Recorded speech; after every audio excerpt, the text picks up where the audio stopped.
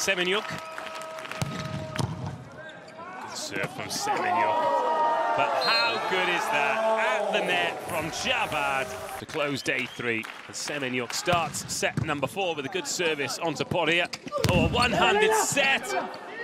And a scramble after the block. And then a kill.